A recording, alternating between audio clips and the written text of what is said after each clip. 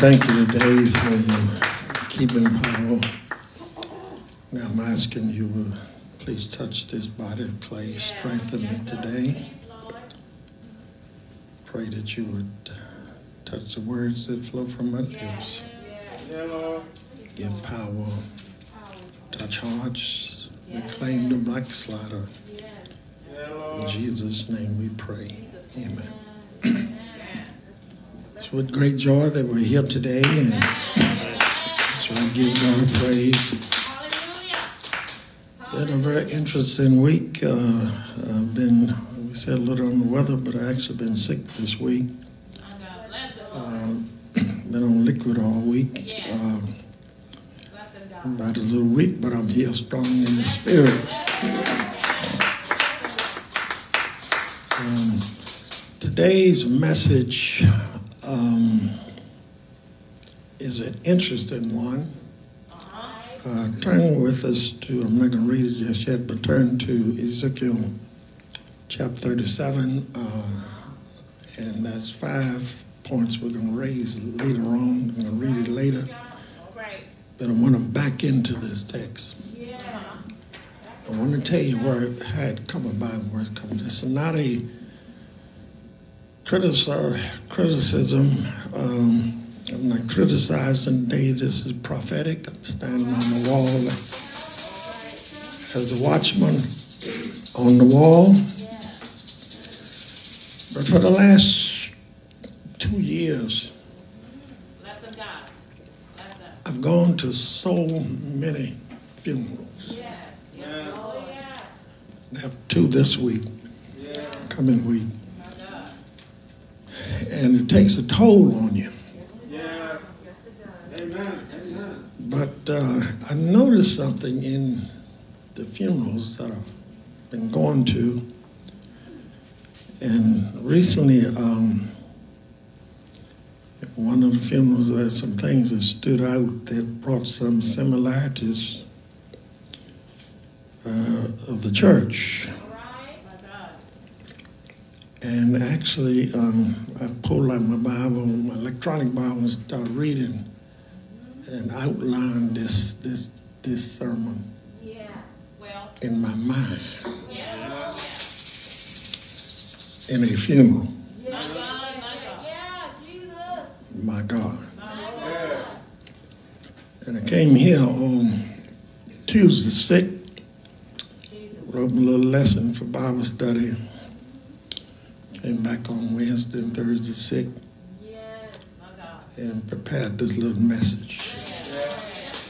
I want to talk about Mission Impossible. Mission Impossible.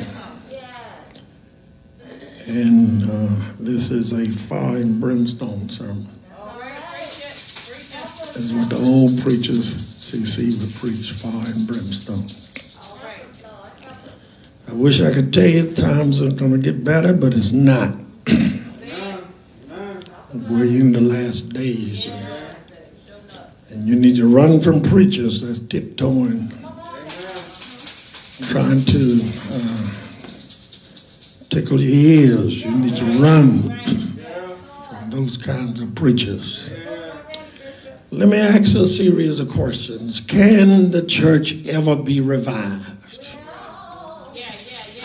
Can the church ever quit fighting and arguing over stupid stuff that has no uh, eternal consequences and get back to being the body of Christ, the glory of God in the earth? Can the church ever again be the agency of the kingdom of God in the earth? Can the church strip off her worldly garments and be clothed in strength once again and put on her robes of righteousness? Can the church ever again be the mighty army of God, beating down the gates of hell? setting the captives free, healing the sick, delivering uh, the bound and the oppressed. Oh, Lord God, you know. It seems like the mission is impossible. We often find ourselves stuck in impossible situations. Amen. Effects of global warming, natural calamities, wars and rumors of wars, terrorism, international and domestic, moral decadence threatening our world.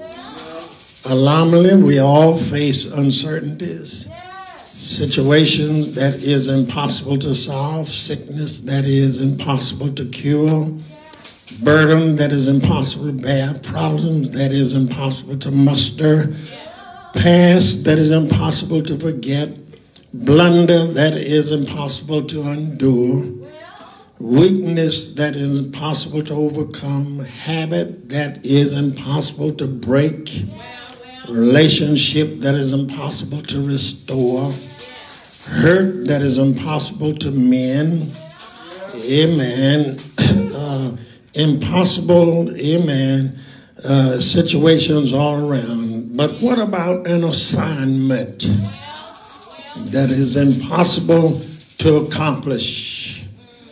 Being a limited human being, having much impossibility in life mission impossible. Our hope rests in the words of Jesus. In Matthew 19, verse 26, Jesus looked at them and said, With men this is impossible, but with God all things are possible. God leads you to mission impossible I'll say that again. God leads you to mission impossible so that you may see God unmistakable.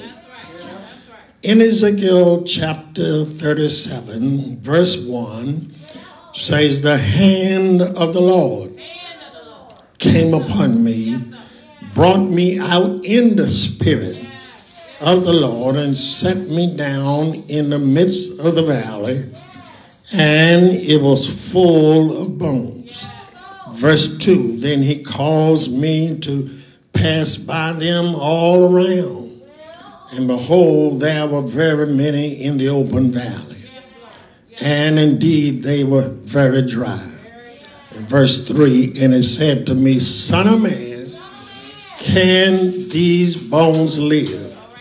And so I answered, Oh Lord God, you know In verse 4 And he said to me, Prophesy to these bones, and say to them, O dry bones, hear the word of the Lord. Now, it has been said that, that, that there will be no survival without revival.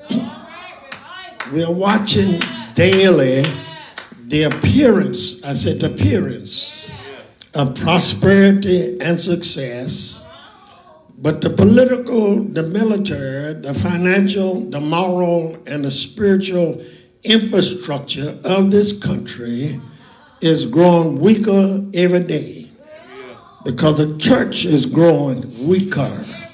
Come on, help me here. Our hope is not on Wall Street, not in the Dow Jones, is not in Washington. It's not who sits in the White House. It's not on Capitol Hill in the Senate. It's not in the State House. It's not who's in the Supreme Court. It is in God. We need a revival.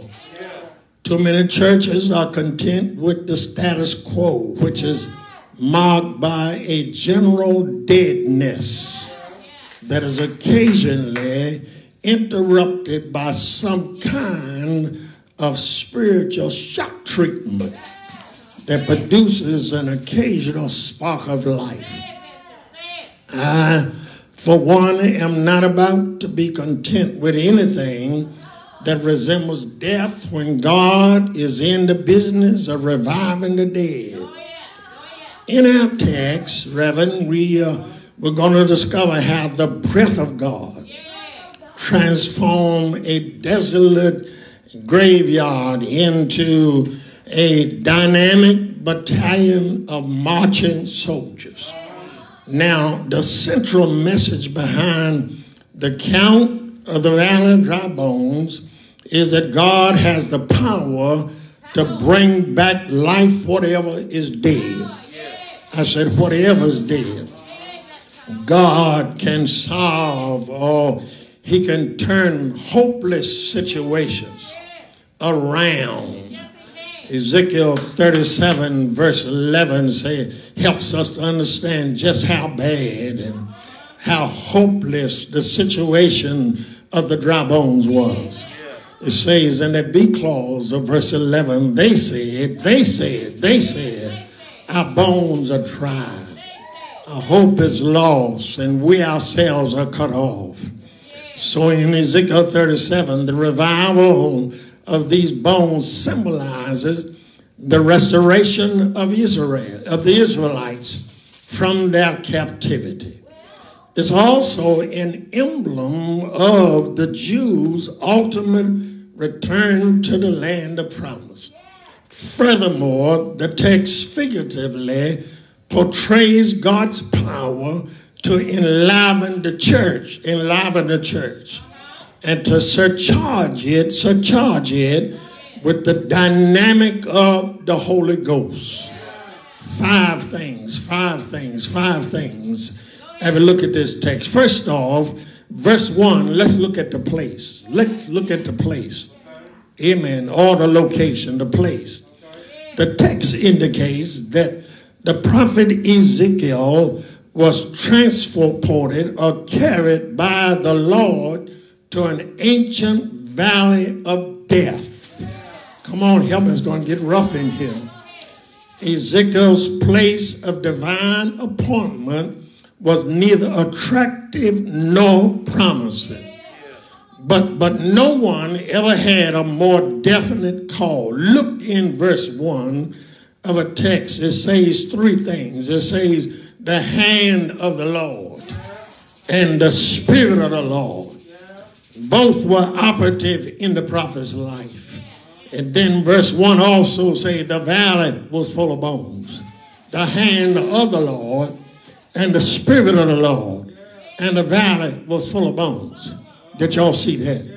Ezekiel had been directed and delivered to a place of death and desolation by divine mandate.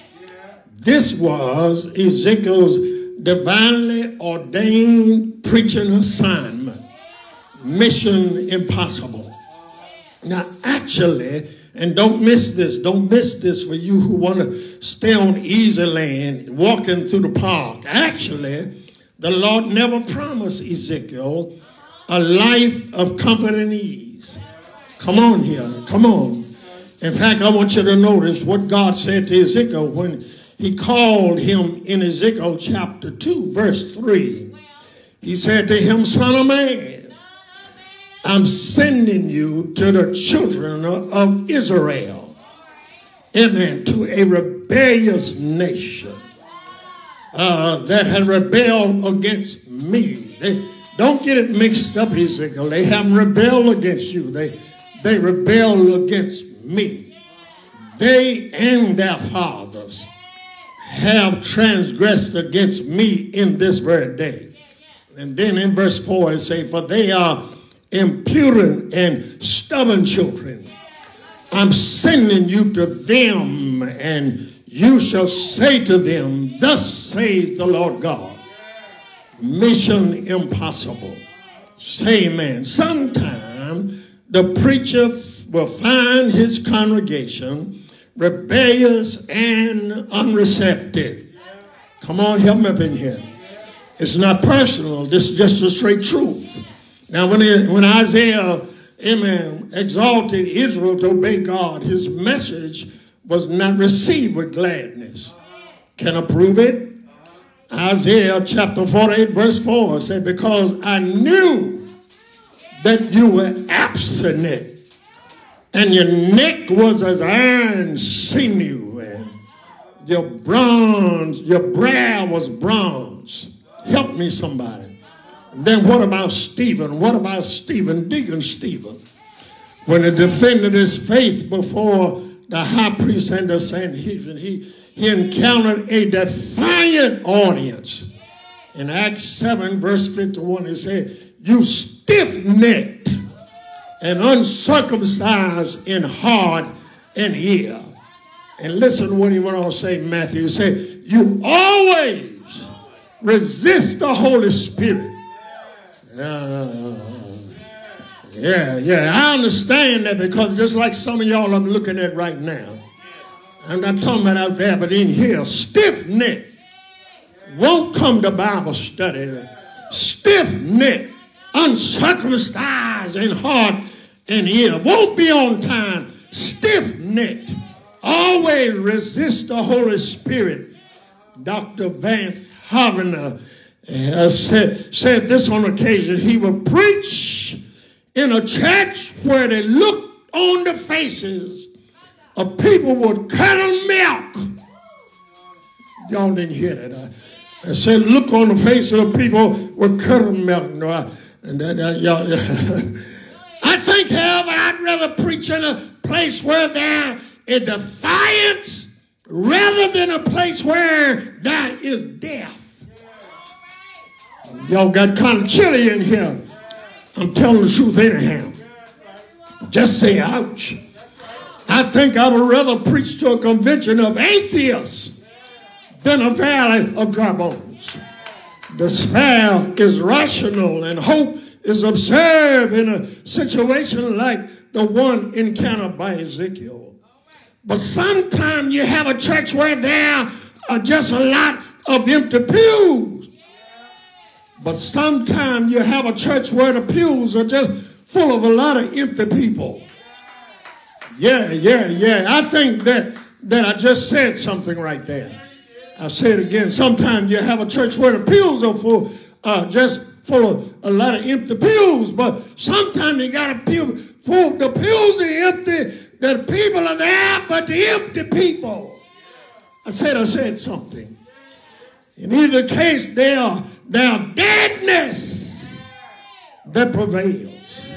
May God forbid, Reverend, that that kind of deadness ever uh, settle down in our church. They're trying to get in here, though. But I, I, I rebuke it right now. Mm. Some of y'all brought it in. You changed your address to the city of dead. May God forever deliver us from being boneyard believers, a bone graveyard believers. Far too many churches are characterized by the pitiable, repulsive spectacle of bones that have been dried and bleached by years of exposure to worldly compromise and spiritual drought. I'm going to preach this.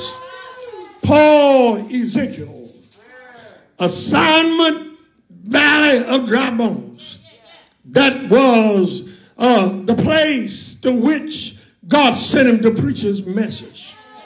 The entire valley was blanketed with lifeless bones, dry bones, say dry bones. Ezekiel said, very dry. Poor Ezekiel, poor pastor. Poor pastor. He, he stood knee deep in the midst of those brittle bones on the valley floor mission impossible. But I see the second thing here. The predicament here is in verse 2. When Ezekiel actually surveyed the situation, he saw all the bones uh, and he observed they were very many in the open valley. And then he said they were very dry. Yeah, I'm, I'm going to say something else here in a minute.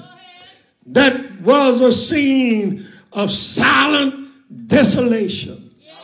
The valley did not contain skeletons, but an indiscriminate mass of bones, so thick that the plain was white with the chronic leprosy of death. Those dry bones belonged to soldiers of God the people that had decayed in the valley were soldiers of God. But for one reason or, or the other, they stopped being the army of God. They had stopped operating as soldiers of God. They were just dry bones with no life or no power. Dry bones just lying on the floor of some valley. Dry bones that were not doing anything significant for the kingdom of God. Dry, y'all might as well say amen, Matthew. Dry bones that weren't playing any role, which were, were not making any impact whatsoever. Dry bones uh, that have stopped being relevant. Dry bones were not fulfilling their church obligation. Dry bones dropped out of the praise team dry bones. Help me, somebody. But as we ponder the predicament, these, these bleached bones picked clean by the vultures, the buzzards, scattered about in hopeless situation. Let us think of some other characteristics of death that are noticed. Help me, somebody. Over these two years of many funerals. For example, uh, help me, somebody. For a dead person, there is no purpose. Try to discover the purpose of a dead man. He's incapable of having goals, dreams, and ambitions. Y'all might as well help me here. A corpse does not establish objectives and execute plans. A corpse does not read scripture. Corpse does not testify. Corpse does not sing a song. Corpse does not clap his hands. Corpse does not say amen. We need to remember that Proverbs 29 18 says, While there is no vision or purpose, the people perish. Examine yourself today. Examine yourself today. Are you spiritually alive? Do you have divine purpose for your life? Do you have a heavenly vision to direct and motivate your destiny? Secondly, a dead man has no passion. There is no fire, no zeal, no appetite, no motion, no heart, no driving force in the chest cavity of a corpse. Y'all kind of dry here. A dead man is utterly insensitive to his surroundings. People looking at him, but he don't respond. The smile is plastered on his face. He moved, he is moved neither by which inspires laughter nor that which prompts grief. Well, would to God that we had the passion of Jeremiah, where it said in the chapter 20 of Jeremiah, but his word was in my heart as a burning fire shut up in my bones. Would to God we had the passion of Peter and John. In chapter 4, verse 20, where it said, We cannot but speak uh, the things we've seen and heard. But you see, those who are dead cannot, can never enter into the passion, this intense empathy with Christ, this passion for godliness, for the loss of the world. They cannot enjoy uh, trying to grow a church. A corpse cannot enjoy, rejoice when a prodigal son returns home. A corpse cannot praise God for spiritual victories. A corpse, a corpse. I'm looking at corpses this morning. A corpse cannot weep without a depressing uh, soul when a depressing soul wander away. Dead men have no passion. Those who are insensitive to spiritual realities have a whole hum attitude toward the things of God. Are giving more evidence uh, of death than life. Y'all say amen back there. Unfortunately, it is evident that many in our churches have spiritual rigor. That no spiritual purpose or passion. Have I got a witness? But another trait of death is no productivity. people and churches that are vibrant, live, are productive. But death is the mark by sterility, stagnation, and barrenness. For the Bible says in Psalm 115, 17, the dead do not praise the Lord, nor any who go down in silence. Ecclesiastes 95, for the living know they will die, but the dead know not nothing. They have no more reward, for the memory of them is forgotten. Mission impossible. Some churches are, are like Psalm 115, where it said, The dead do not praise the Lord. Say amen.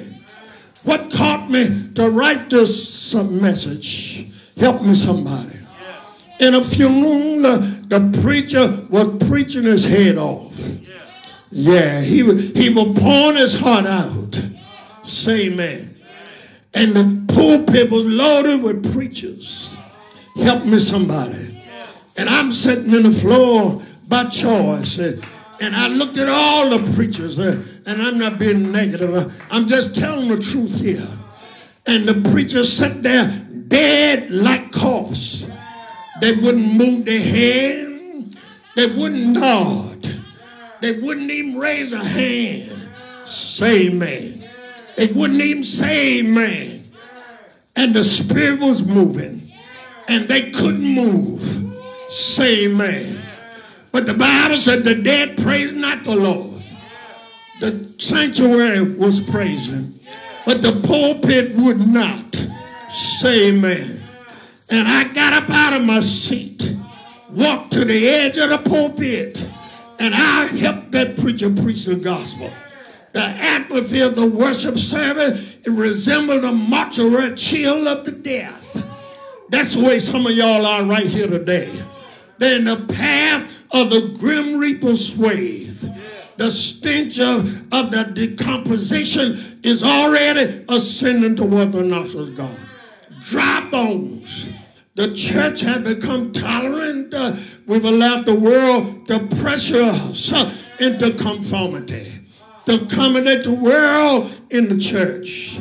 The fact is, whatever you tolerate, you will con- eventually control you. Dry bones. The church will never uh, will never call to tolerate sin, but to come out from among it and be separate, said the Lord, and touch not the unclean thing.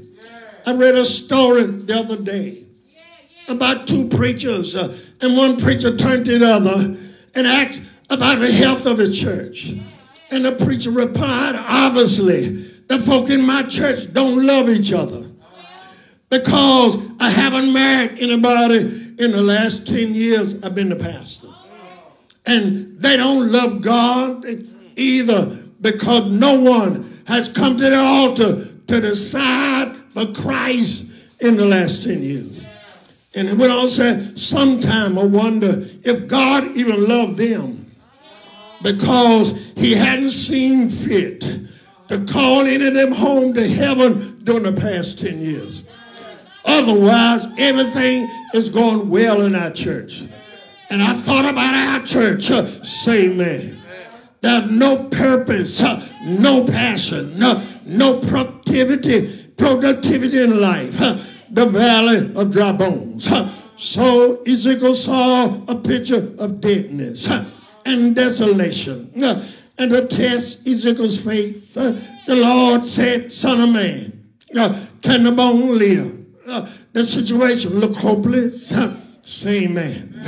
and just as he was ready to write over the situation, mission impossible. Help, help me somebody.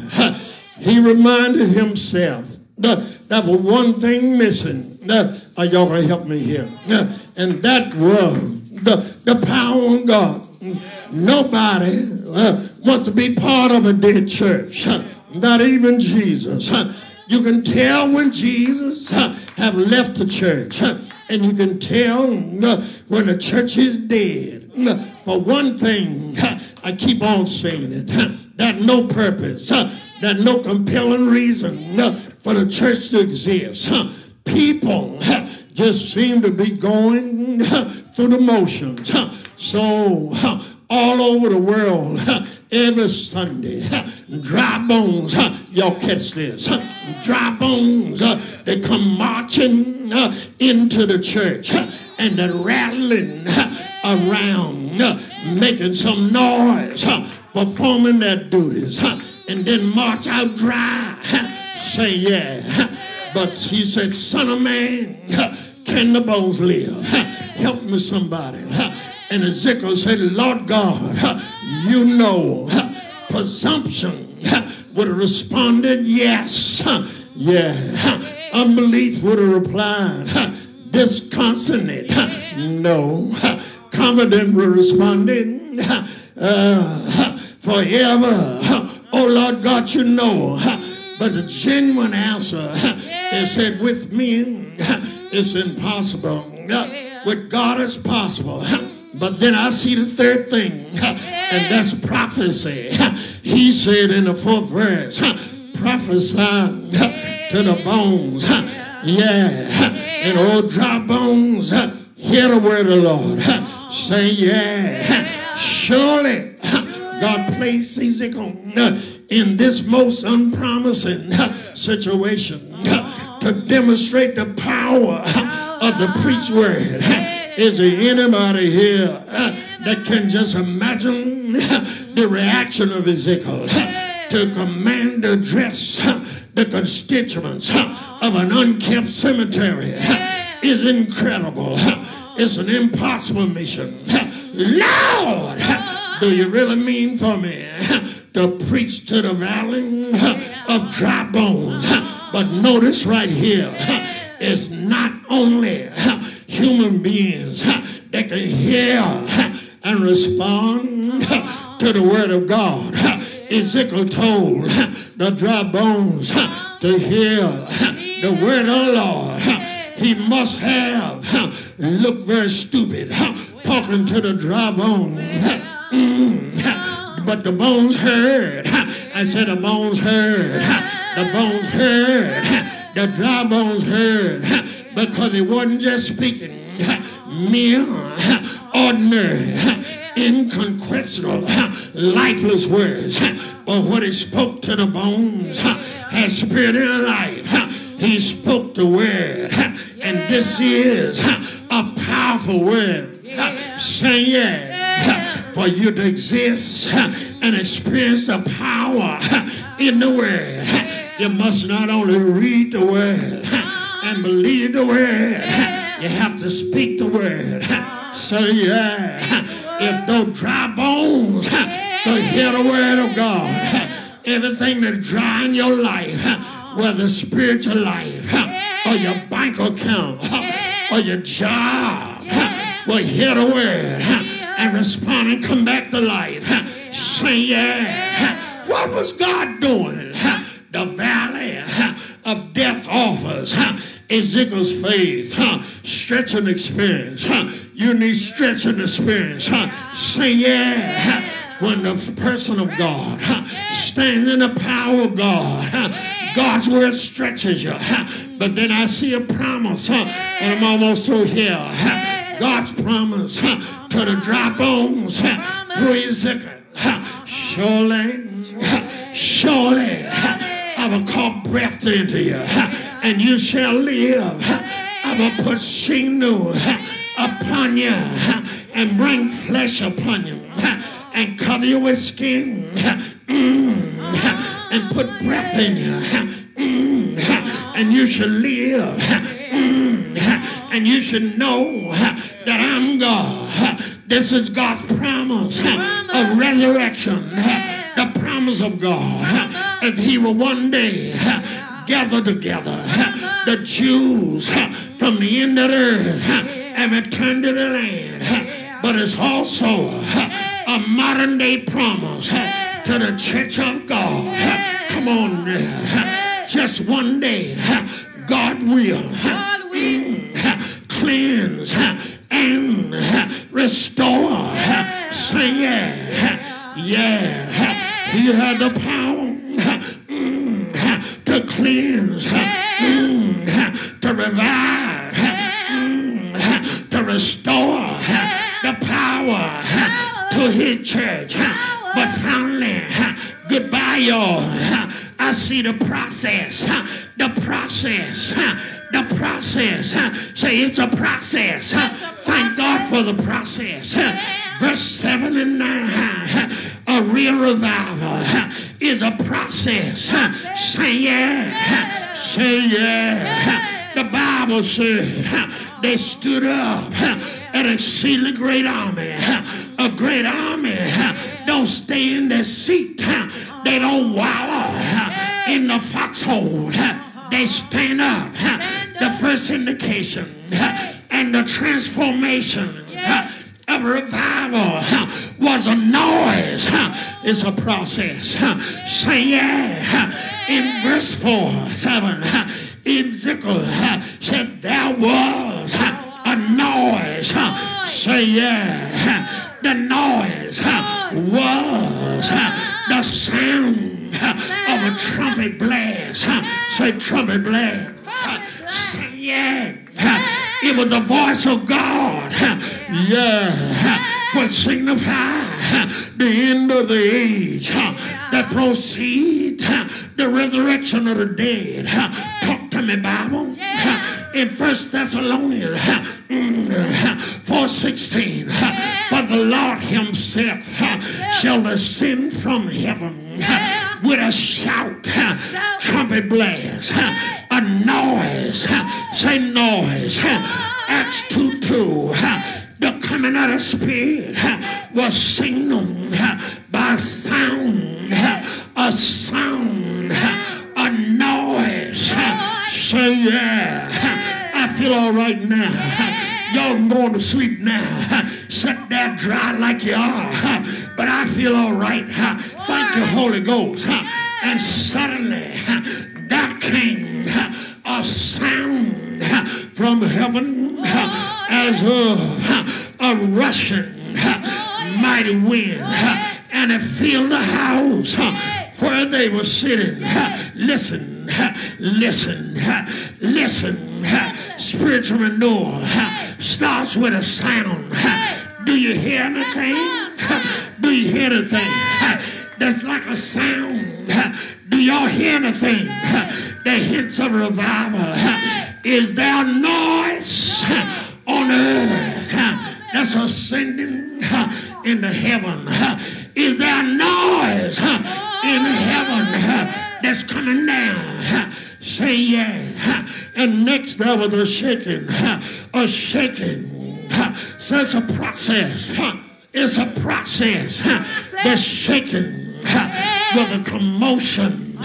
Say yeah. Say yeah. The rustling. The rustling. The movement. The dry bones were getting together. Some of y'all ain't moved yet. You ain't trembled yet.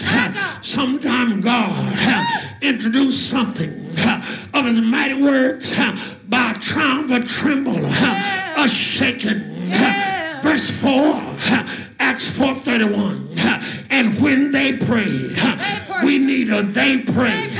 Say yeah. It's not just technicians and two more on Tuesday night, but they prayed.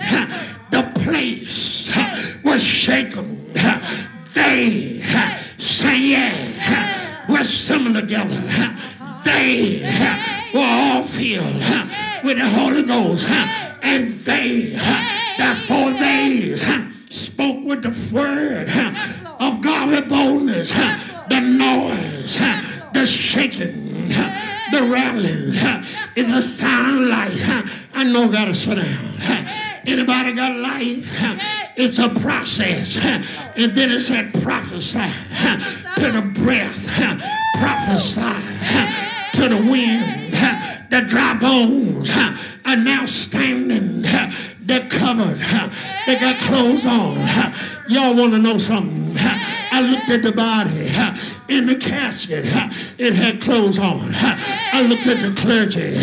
They were not in the casket. They had clothes on. They wasn't saying nothing.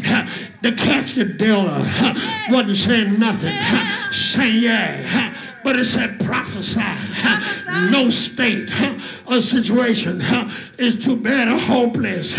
Say yeah. The word of God is your source of hope. It's a living home. I'm gone now.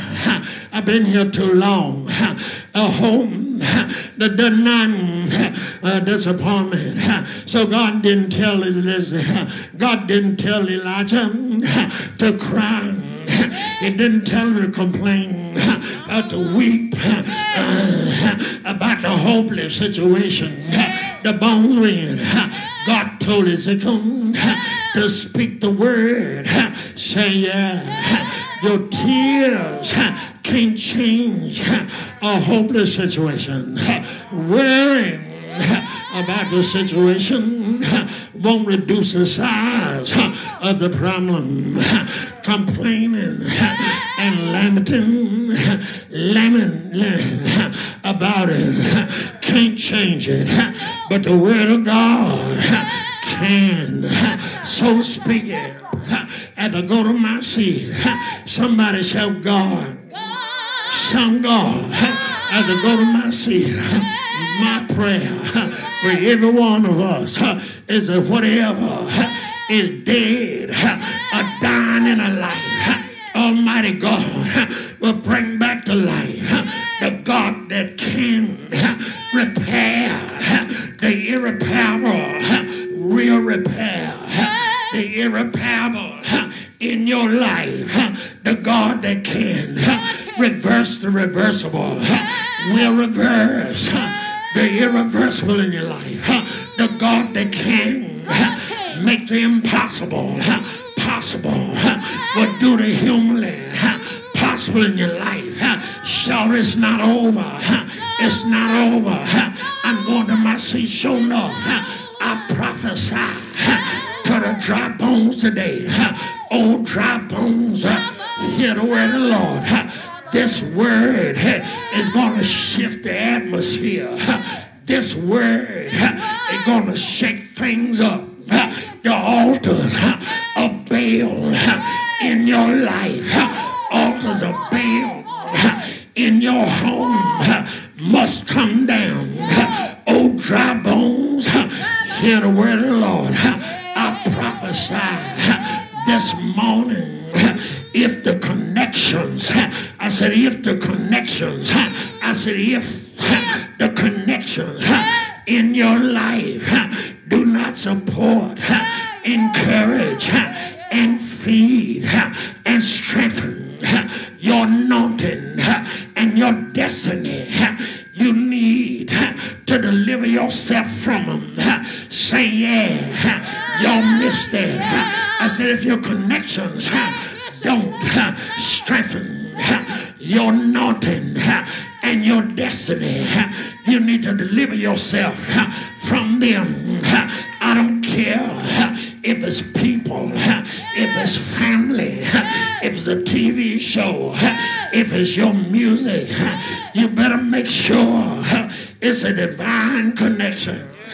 I prophesy to the wind, crowd to God for revival, crowd to God for fresh anointing, crowd to God for fresh fire, crowd to God for fresh baptism of the Holy Ghost and fire, crowd to God for revival for yourself in your church, crowd to God for your children for your grandchildren, great grandchildren. Crowd to God for your schools and for this nation. Crowd to God. The mission is not impossible if you get in the Word. Crowd to God. It's not impossible if you go to the Word. Find the Word for me. Second Chronicles 7:14 if you go to the word and do what good the word says. Second Chronicles 7:14. Go to the word and cry out to God. Say yeah. Second Chronicles 7:14. Is is our contract. Read it, Bible. Say yeah. If what? My people. If what? My people. If you're God's people, what? Who are called by my name. Who call what? By my name. What? By my name. What? By my name. If you're not called him, you're not his people. What? By my name. We don't. Will humble Do what? Humble. and pray. And pray. What? What? What? Pray. Pray You and, got to gather and pray. What? and seek my face. Seek God's face. What? And turn And turn. your wicked ways. Wicked ways. Then will I hear. What? What God say? What? Then will I hear. What he say? What he say? Then Will? I hear. What he say? Then will I hear. Then will I hear? From heaven. And do what? I will I will forgive their sin forgive their sin and heal and heal. their land. At the end of the story. Yes. Yes. Yes. Amen. Yes. Yes. You don't want to live. You don't. Amen. You don't want to live in. You don't want to live in Pastor Carroll Baltimore's house. Yes. I say that again. Say say it, Bishop. You won't live. You don't want to live in Pastor Carroll A. Baltimore Senior's house. All right. All right. I be preaching this every day. Every day. What's wrong Yes, Lord. with the nation? Yes, Lord. Right. And the church is getting weaker Yes. And weaker. yes Lord. Everybody want to know what the president gonna do. My God. We need to be seeking to find what God is doing. God. Come say something up in here. President don't hold the world. The United States don't hold the world. God holds the world. That's. Yes. Yes, we go back to the word. Yes. Lord. Word. Word. Yes. Word. We'll, we'll find ourselves wading in bones up to our knees every day. Yes. Yes. Yes. Lifeless. Mm, my God. That's why we can't draw nobody. My God. Why folk don't believe you witness because you, you're just lifeless. Yes. Can't even smile. Some folk can't smile. Folk can hear, pick up a phone a hundred miles away. They can smell you. They can see you. They can, they can feel you a hundred miles away. Yes, Lord. Yes, Lord. You got to know who Jesus Lord. is. Yes, Lord. Yes, Lord. Know who Jesus Thank is. you. Thank you. Thank you. You got to know what's in this book. Yes. Yes. And if you don't know what this book say, you got to know more than what. If I ask you for a Bible verse, you got to be able to say more than Jesus. Well, come on. If I ask you a Bible verse, some folk can say, Jesus wept, then ask you where is that? You can't even tell me where it is. You're in a graveyard, dead. If that's the only Bible verse you ought to know, you ought to at least know where it is. Yes, Lord. Come on, that's right. Say it again, Jesus.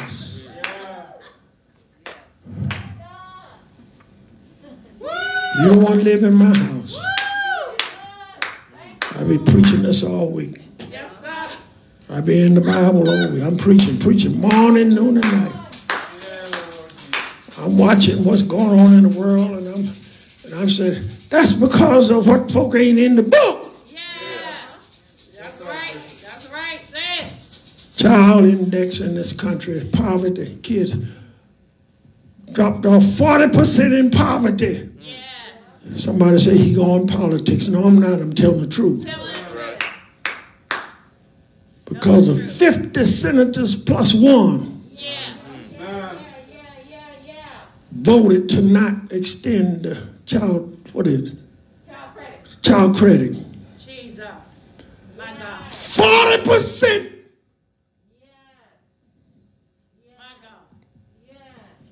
My God. Children drop back into poverty. So I wrote a thing and posted it this week.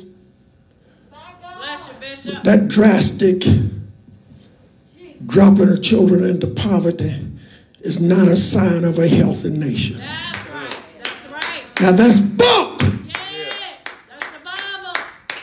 Because the Bible tells us to take care of, of the poor, the widows, the poor, and the orphans, the poor. Do something like the poor. Word. Lord, I pray you touch somebody's heart who heard today. Yes, Lord. Thank you. That we want to be so contagious that folks see us coming and, and running back there. So what must I do to be saved? Yes, Lord. Makes us contagious to the point they can see the fire burning in us. Yes, Lord. That they can see that we are. Disciples of the Lord Jesus Christ. Make us so on fire that folk will know that we are his disciples, that we are with Jesus. Let them see how we love one another. Don't let the world guess and wonder and question our discipleship because of how nasty we are. Somebody's watching, and they ought to be watching. Lord, I thank you. Yes, Lord. Yes, Lord. Save. Yes, Lord. If this sermon touch you, send a message back to us. Yes. Yes. I pressed to write this sermon. I pressed to preach it. Yes. Yes. Bless you. The body affliction because it was burning in my spirit. It took a little longer today, but it's burning in my spirit. Yes. Bless him, God. Bless him, God. Bless him, God. I prophesy Yes. wherever you are. Speak to that condition. Yes, God. Lord. Yes. Speak God's word to that condition. Yes, God. Yes, God. Don't look at it and back up off it. Speak life to the condition. Speak over it. Yes. Yes. Take authority over that impotent situation. Yes. You have the power. Power. Yes. Say power. Power. Come on, stand on your feet and say power. Power. Power. Power. Power. Power. Someplace in the world, folk already in bed. Get out of bed and stand beside your bed and say, I have power. Power. Power. If you're in the office, some of you already working off. Stand up by your desk and say, I have power. Yes, Lord. Power. Thank you, Lord. If you're on the bus going to work, just hold your hand up and say, I have I power. Yes, Power of the Lord Jesus Christ. If you're in a prison watching this, just say, have the power of the Lord Jesus Christ. I thank you that I'm alive. Yes. Thank you, Lord. Yes, Lord. Yes, God bless you. yes, Lord. Join us again on Tuesday at 7 o'clock Yes, for part three of the truth. Yes. Part three of the truth. Yes. Part Yes. three of the truth. God bless you.